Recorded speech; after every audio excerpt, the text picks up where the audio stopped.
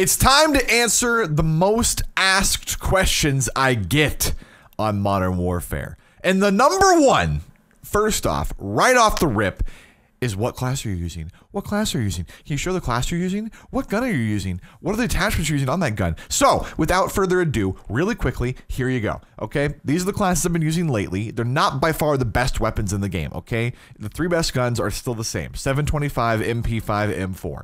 I don't like to use any of those guns because they're fucking boring. Bottom line. So I use the R90, which is still a pretty good gun, right?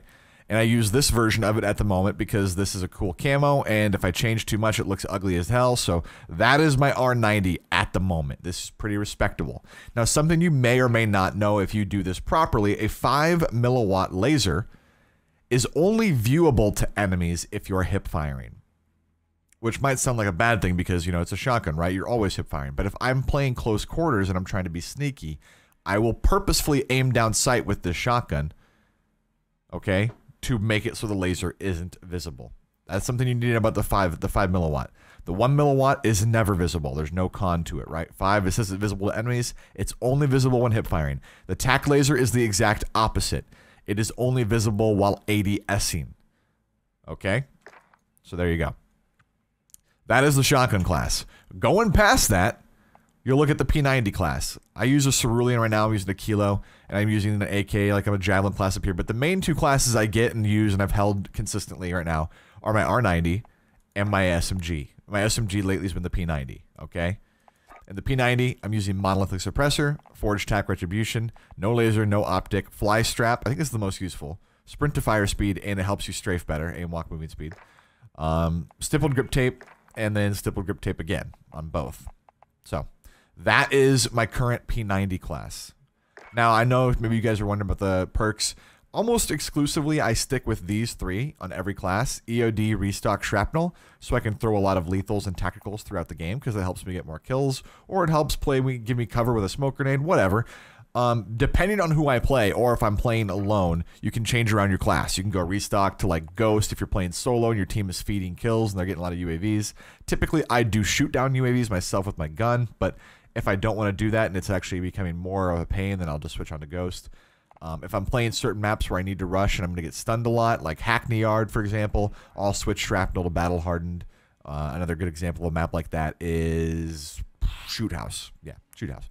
So those are my my standard perks I usually will use, and then once in a while I might swap around one of these perks uh, depending on the map and depending on the team that I'm playing against on that map. So those are the two classes. Uh, your other classes, you can use what you want. The Kilo is a strong weapon. I've been using it. Uh, M4 is by far the better weapon, but still. I use the AK here for some fun. I'm using an MK2 down here to level it up. This is usually a sniper class, but whatever. The three strongest guns in the game have not changed. MP5 for SMGs, 725 for shotguns, and it's just a very good close range gun uh, in general, and then the M4 for rifles.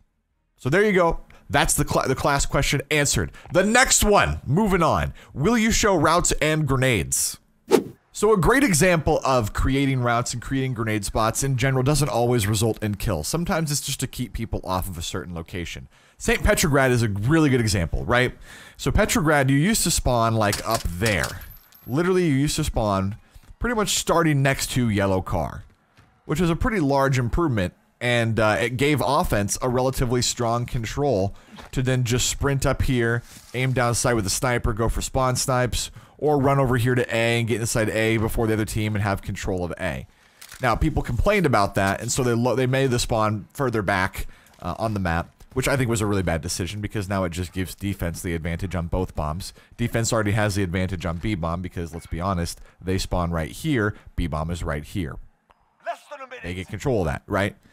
A bomb was uh, one that was contested and more balanced. But now that offense spawns all the way back here, uh, defense has control of both A bomb and B bomb. And one of the ways they do that is by blowing up green car there, right? So the quickest rush route, honestly, is through billiards. And the way that I will play this round now is by running up, grabbing bomb. Even if I don't grab bomb, it's fine. Cook a grenade, throw it right here, and that should hit the green car. And then you can kind of throw a smoke a little bit lower and that will smoke out tunnel. That way we can run in through billiards here, and we can run all the way through without getting shot at. and then we can kind of get some type of control on the A bomb site, right? So a lot of times grenades don't come into play when it comes to getting kills. It's mainly used in a tactical way.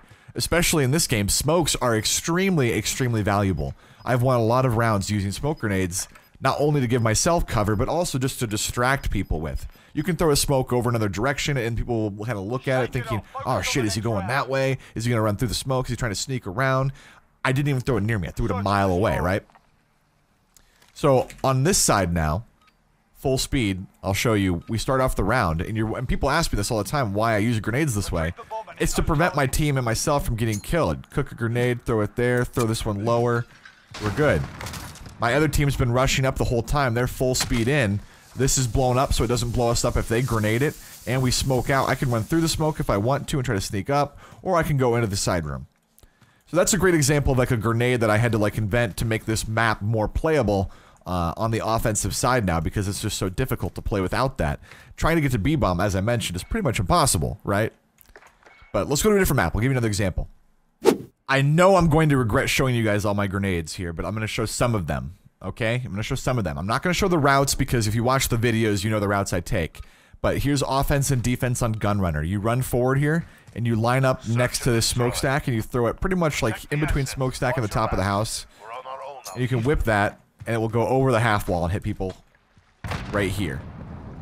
If you throw it extra far, sometimes it will come down and land like on the edge here. Uh, if you show, if you throw it short, typically it will hit the ground here and bounce up and still hit people in the face uh, that are sitting here on the half wall. Either way, it's usually easy for kills, right? And I do that because I'm pushing middle and I don't want anybody on this half wall to ever just peek me and shoot me. So, pretty simple, not very, you know, convoluted. That's the main spawn nade for defensive side. All right, switch to offensive side really quick. So from the offensive side, there are two main grenades I'm going to use. One is a smoke grenade, one is a frag grenade. When you start off right here, you can run on the outside and throw frags over the top, and that will land in between uh, the train tracks here. The second one's a little short, but it'll land in between the train tracks, and then that will grenade the snipers. That lets you run through here without being shot by this spot.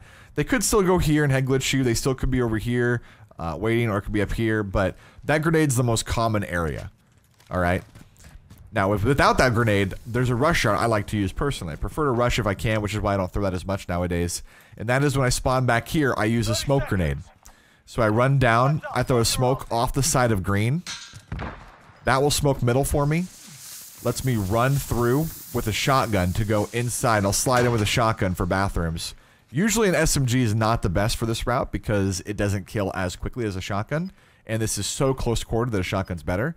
Um, and SMG is honestly better once you run through. If, you're, if you run through and you're out here, SMG is better. But you need to be able to get and survive bathrooms first, and uh, basically the shotgun makes that possible. So.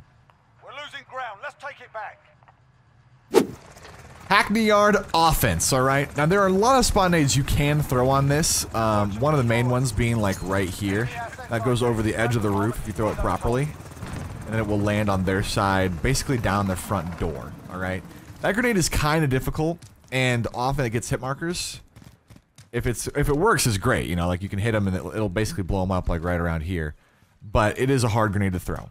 The main ones also typically don't involve spawn nades. Hackney Yard is more of a map revolving around map control, offensive and defensive. Offensive has a large advantage when pushing into A because they get there first. Except, except for the first round. The first round on a lot of maps are actually different than the following rounds because you come in on a helicopter and they put you at a different spawn point. So on the first round, the other side actually spawns closer toward the A door. So they get into A before you.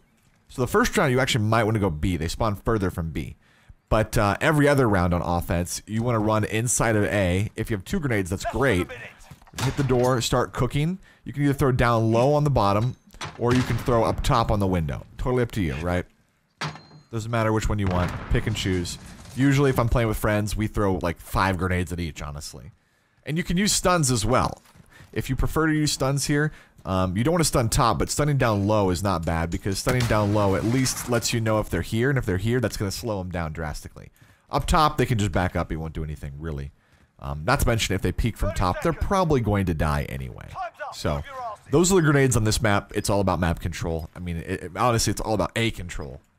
You can also have somebody sit out here and just kind of wait and watch your mid and stuff. But uh, Yeah, no other grenades are really needed. You can throw some at B. I'm not convinced it's good yet because A is just so easy. But if you spawn here, you give it like one second, you cook a grenade, and you're just gonna throw it over the top of the roof. Um, it's it's I don't know. You want to wait? Might you might even want to wait a second longer and throw it further, but I'm just not convinced. I don't like the B route. Some people are. I'm not one of them. Okay. Search and destroy. But where they spawn is going to be essentially right here. So you wait like three seconds for them to get to this point. You're going to be wanting to like aim basically at the bomb and then just instantly throw a grenade over. And uh, it does damage. It gets kills here and there, but B in general is just there, there's ways to get into B without having walking there. There's no point. Let's just say that. I'll switch sides really quick. Whoops. Allegiance. I'll show you the grenades on this side. So you spawn right here, like I said. Um, if you're coming out first round, you actually spawn right here. So you're a little bit closer to the door, which is why you win first round. Now this side is a lot harder to win because of the A bomb site. B is actually not too bad. But A, except for the first round, if you're back here, is all about getting control of A. It's it's all like that's the hard part. If you're playing with one friend, you both run toward A. One guy goes down low, but because the guy going down low is actually going to get stunned by the route I just showed you, and most decent teams are going to use what I showed you, you have to come up top Less than a and throw your stun. You can't throw a frag. You could throw a frag, but they probably have EOD. The stun is more important. The stun slows them down and basically just gives your guy going down low a chance to run in and get inside. Now, the only thing you have to worry about uh, if you go up top where I just showed you and throw that stun for your teammate, and I do this for Dysfunction and other friends, is if they come up here with a sniper rifle and hard aim right here, this will get you killed. They can just one shot you. Sometimes I do the route anyway and I try to just risk it and jump and try to like dodge them, but um, it's all about A control. And A control is very difficult on defense. You can try to smoke mid and come up here and try to jump inside. That's also a possibility, but usually it comes down to having one friend and you work together to control A. It's kind of a hard thing to do by yourself. The last one I'm going to show you is Rammaza, all right? We're going to go back to a smoke actually on this map. Now, this map on offense, you can go to either bomb site, frankly. Um, B is usually a little bit easier, but even then, if they do a route, it can counter B pretty heavy. So, the spawn nades on this map, the main one is right here. If you're walking the route I go, you're going to go middle. And right around the archway start, you you gotta be full speed to do this. you gotta be full speed, and you cook a grenade and jump throw, and it's gonna go over the top. That grenade often, not always, it's still a very hard grenade to land perfectly. Often is going to go over the roof. It's going to land somewhere around here, hit one of these things, bounce off, and then come down here. I'm not sure if it blew up here. This is how it normally looks, but usually it's going to land in this vicinity and hit people either running up to go for the ladder or running up to go inside bottom. That grenade is, it's not an easy grenade. It's actually extremely difficult to hit. I'm still not perfect with it, but uh, it is a very strong one. So, again, you walk up the alleyway, and I would honestly say even wait till like this thing. Wait till you get this little roof. Throw it over the top, jump throw, and uh, see if you can hit him with it. I picked up a couple kills here and there. Pretty strong. So, besides that grenade, there is one more. This is for the B route. And the B route in general, you can throw this two different ways. One is you have to line this up very well down the alleyway, and you have to throw through the roof, right? And this is kind of hard from a long way away because it hits stuff like that. That's what makes this one difficult. The closer you get, it's a little bit easier, right? But it's kind of hard if you're trying to be full speed and not mess up to throw this grenade and have it go all the way down the alleyway where people are going to be jumping over the wall or running inside. So that grenade is, is kind of difficult. It just takes a really good alignment. And, uh, you know, I can struggle with that too. I showed you the first one, I missed it, right? So, good example. It's not easy to hit these grenades every time, but practicing will help you out. And I will wait one more round here. I'll show you really quick the reason you do that B route. There is two ways to do it, I said. I'll show you the second way too. Might as well. So if you're into B, Retrieve the bomb and hit those targets. don't need the bomb, but whatever. You can throw the grenade either through the roof, as I mentioned. I got that one. Yep, got it that time. Or you can come up here and throw it and it will roll all the way down. Also a way to do that. But if you do this, it kind of hurts the rush route. I don't really like rushing to archway. So what I try to do is I try to throw the grenade from further back through the roof, and then you run out here. You smoke, and this smoke will block you off from mid door, if they come or like bottom mid door, and it also blocks you off from top, which lets you run over here really quickly, jump up on the boxes, and then go for the players in top B. You can then go for the players in bottom B. You can then try to wrap around. You get you get you get B control though, right? Like that's what controls this bomb site. And that is offense. But there are some good grenades to counter it on defense. So on offense, there's a couple grenades you can use. The first one I'm going to tell you, you don't want to use off the rip. You want to like hold it and run up here through middle. You kind of got to hope that they don't land the grenade uh, here that I showed you the round before. Even if they do though, if you're running EOD, you survive. You run up top and you start cooking the grenade here and you crouch, just bank it off the wall. This will clean up anybody that's here or at least damage them. And you can just pick them up with a gun kill. You just rush the top here and shoot them on either side. Now the other grenade which is more of a spawn grenade, and the one I use because I prefer to go on the other side when I'm playing uh, when I'm playing defense. I like going A side, even though I, I, I don't mind B either, but I like going A. From back here, you're running up through the middle, and it's right kind of lined up to the left of this post, and you can basically just throw grenades over the top, and that lands over carpet. So where that goes, as they come out of their spawn, it usually lands right in this area. It can land anywhere from here all the way to here, depending on the angle that you throw it and the height that you throw it, how long you cook it for. So that can grenade a lot of people going for carpet, and honestly, I usually throw both my grenades that way. If I have two grenades, I'll throw one from here, and then I'll throw the other one like maybe like here, and I'll hold it and I'll throw it as well, or I'll throw a stun that way. That way, if anyone's there that the grenade didn't kill, I can then stun them and hold them from getting up top before me. So that's the route essentially. I smell blood. But nonetheless, there are some of the grenades and routes that I wanted to show you guys. I'm not going to do all of them. I'm not going to do all of them. Maybe in the future I do a, a video if you guys like this, like a video dedicated to all of them that I know. Um, but I'm not to do all of them right now. But that is a wide question I get on like the routes and the grenades. If you watch the videos, you see the routes I take. If you wanted to see the grenades that I do or why I do them, I just showed you. Let's go to the final question. How do you know where people are going to be? How do you have the game knowledge that you do? And game knowledge in general is like a combination of map knowledge, understanding how people play, and seeing the holes or the weakness in the game. Now, if you look at the mini map right now, you're going to see there's no one on my team on the other side of the map defending our spawn or even stopping anybody inside A. The fact that they planted in A means they could have easily pushed through at this point. And I slowed this clip down. This is from a couple days ago. I slowed it down immensely so I could try to explain all that's going on right now. I cook a grenade and I'm trying to throw it toward the head glitch of uh, what I was aiming at essentially. It's like this little head glitch on the backside of that little mid crate. And I'm running, following my only other teammate through the spawn to, to flank on them. The fact that we haven't hit anybody yet means that they're all in front of us, or one or two are probably flanking behind. So after I wall jump, I put myself on a head glitch and look back behind me, seeing one guy there. The reason I did that, as I just mentioned, there's holes on the map on that side. Like they could have easily ran through. No one was covering it. Naturally, if there's an open place for people to rush and flank, especially in a 6v2 where they feel like they have the advantage and they can play kind of dumb, they're probably going to go for some crazy flank. Now I see a guy back here. I'm going to cook a grenade. I'm trying to throw it to the back, but I was going to throw it close instead because that guy was easier to target. I kind of throw it in the middle and I target the close guy. I was able to outgun him really quickly. And I also know there's one more there, right? So I jump shot out. That guy is going to be expecting me because I just killed his teammate. He doesn't know that I know he's there, but he knows where I am now. So he probably has his gun up sprinting toward me. I kind of catch him off. I think I kill him, but I don't. I have to go into a drop shot and recenter, refocus. I target him, and then I go back on the other guy. I missed some shots, unfortunately, just some bad accuracy. Now, here's the point. I'm going to pause it.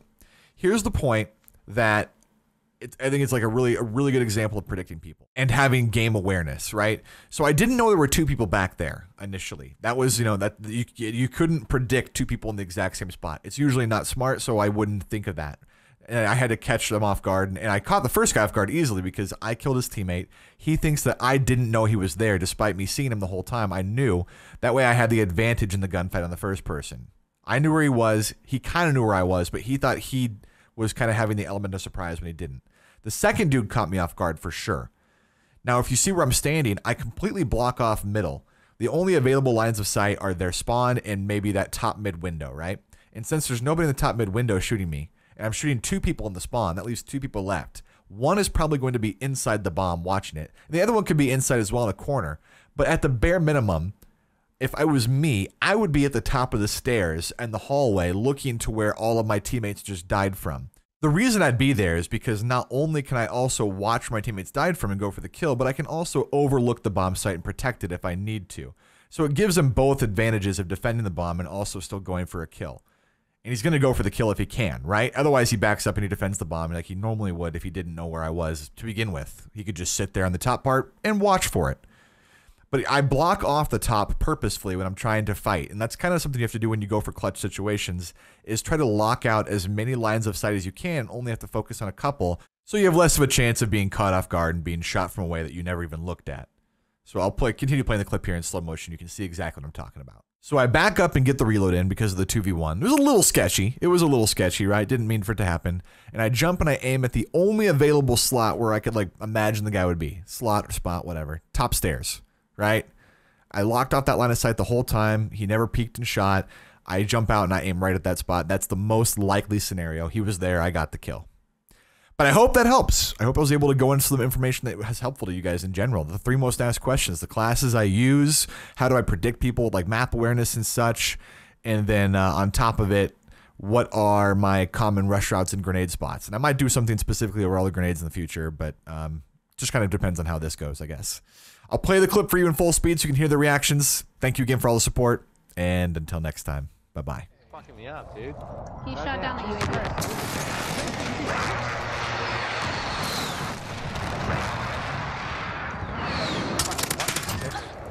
Nice, bro. oh. Goddamn. Oh my god, bro.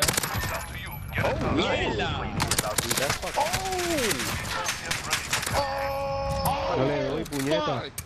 What the fuck did you do, man? He's on that juju. Fully erect, bruh. Fully erect. Bruh, my fucking pussy's wet as shit.